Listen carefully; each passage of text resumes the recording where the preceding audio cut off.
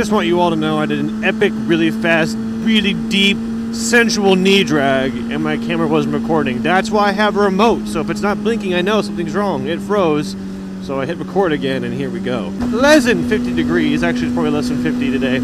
Fahrenheit, by the way. I guess I have to clarify if it's Celsius or Fahrenheit for people watching this all over the world. It's weird seeing these neighborhoods being built because I've been in places like this just riding around before things were built and then come by like a year later and seeing, oh my gosh, where all these houses come from. I don't know if you guys notice. I mean, I imagine those of you who actually live around where I do notice, but I typically, like I said, ride in the same places every time. And I think you guys can see if you watch Moto Monday or Finally Friday regularly and go, oh yeah, he was there like a couple weeks ago in his last video, or oh yeah, I, I drive by there, I don't know.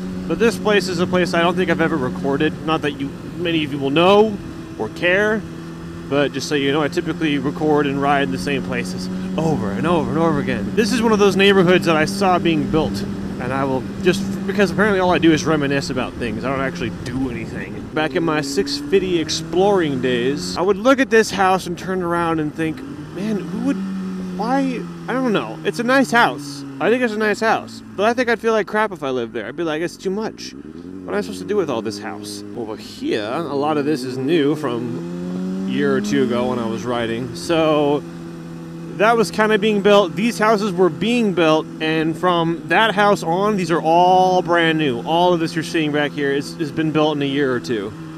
All of it.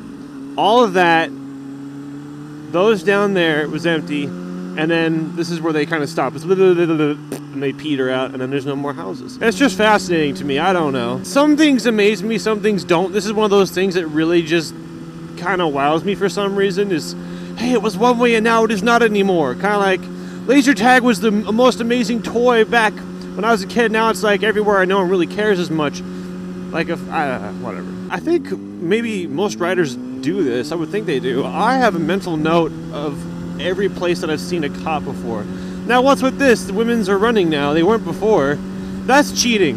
When you run, at least when I run, oh, look at that! Oh, paraplegic dog! Ah, that's so sad. Ah, I ruined my train of thought. I don't even care about my rant about the women's in there running. It's none of my business anyway, but dang, that dog. I'm so sad. I need to turn around and pet that dog. That's what I have to do. It is the right thing to do. Batman would do it. You go on with your, your cheat, your cheating running. Excuse me, sir. Hi, I saw your dog and my heart went out to it. Could I please pet him? Oh, please. Okay. His name's Lieutenant Dan. Oh my, Lieutenant Dan! he knows his name. Hi. What's his sob story? Um, I actually think he was bo- probably born that way. I've had him for about nine years. Um, he was found at a hoarder's up in St. Joseph's. What's a hoarder's? Uh, people who like collect dogs but don't really care for them. Oh. Oh, I just got it. I was thinking, hey, you know Lieutenant Dan couldn't walk. like that's probably where he got his name, isn't it? Yep. Okay, I'm not I'm not very bright. what's what's his name? That's Scarlet. Scarlet, okay. Lieutenant Dan, ice cream. hey, thanks for letting me pet your dog. Hey, no problem. Nice to meet you. Yeah, man. Have a good day. Lieutenant Dan! was the best. There was a dog that I met named Pirate. Now, this dog was initially named Pirate, right? And he has a spot, like a eye patch, like a black uh, spot over his eye. He's white with black. And then one day he had his eye taken out by something. I forget. He, he lost his eye in the same eye that has the, uh, spot that looks like a patch. And so I call him Pirate the Pirate Dog. He literally is like a pirate because he looks like a pirate, but he was named Pirate first. Now, th- if that dog was named Lieutenant Dan and then wasn't able to walk, that'd be the same kind of wow factor as Pirate the Pirate Dog. But still, Lieutenant Dan is a great name for that dog. So I like movies very good. Um, I don't know that there's anything I'd want to do with movies in the way of YouTube, with the exception of dubbing. I, I do want to dub movies in the future. I've mentioned that before. But anyway, like most people, I like movies, and I went to watch Star Wars: The Force Woke Up recently, and uh, right about that time, actually, I think it was just today. All the days are blurring together. I, I'd heard about the Jar Jar Darth theory before, and I was like, yeah, whatever. Or, you know, that it existed. I didn't know what it was. And today I, I gave in, I clicked the thumbnail that was, kept popping up in my suggestions on YouTube, and I was like, fine. So I watched it. And this is my facial process throughout the 10 minute video explaining how it was. There's like four stages. First, it was like, yeah, sure. Mother of God.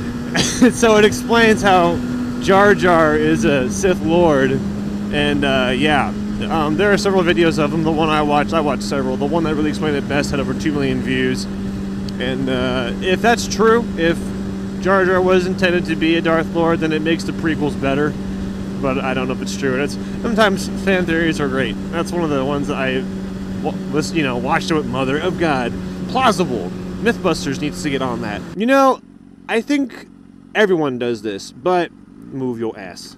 When I look at cars that are driving by and you know I'm riding, and what happens is, like, say someone's pulling up alongside me, you want to look and turn and see who it is because I don't know why we do that. At least I do that. I'm just going to assume everyone does it. And uh, the thing is, you have to look at them and then look away before they look and see you and make eye contact. You have to look at them without making eye contact. It's the trick. It's the game, and it's very tricky and awkward I, I really feel like everyone does that. I totally do it. Like right now, I'm looking at her, and the appropriate time to look away is when she looks at me, which she didn't. So I just got to keep staring. She was looking at her nails the whole time, which you know, whatever. I win. Hey, I need to pull over here and get something. This is exactly where I needed to go. Wow, I wasn't even thinking about it, but I need to go here. This is the very first place I went to when I got the tubing for my Venator Mark One, and I need to get tubing for the Venator Mark Two replica that I'm going to make because I have all the parts except that. Electrical. It's electrical tubing. And the size that I want is this size. Only five. That's not right. That's not right at all. Do you don't have it? Oh, this is it right here. Wow, only six bucks, guys, for this. That's winning. Total six dollars and twenty-one cents, please. Nice. Thank you. All right, you bet, man. Have a good one. You too. Thanks. I'm gonna make a replica of my Venator Mark II and give it away for free because I can and America. So I have all the parts I need minus the tubing. So I'm gonna build that. I had a basically just a sweepstakes open for a few weeks, had people send in their name, and then I randomly picked one. Landed on Melissa Bonjo in Pottstown, Pennsylvania. So I'm gonna make that and give it away. So, I mean, I'm not going to say sucks be the rest of you, but someone had to win. Oh, you know, and I looked at the calendar. Apparently, Christmas is on Friday, which means when you're watching this, it'll be Christmas. So, Merry McChristmas.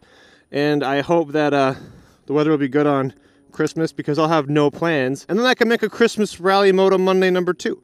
And that'd be pretty neat. Thank you guys for watching. And again, do have a Merry McChristmas. I'll see you later. Bye.